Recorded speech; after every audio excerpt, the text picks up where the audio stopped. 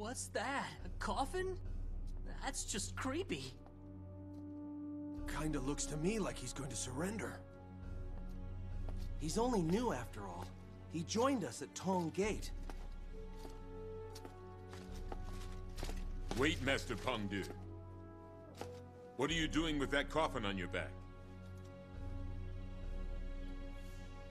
Naturally, I have no plans to die.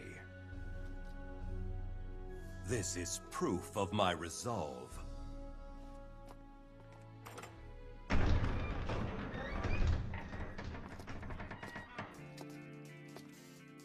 A warrior must fulfill his duty with no fear of death.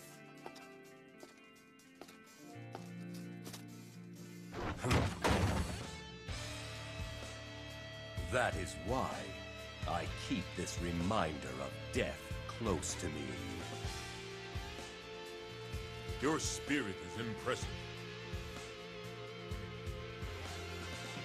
Men, follow his lead. Only the brave and the defiant stand with us this day.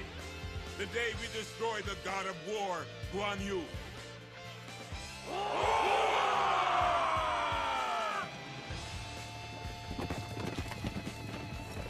We're late. What's happening with Fan Castle?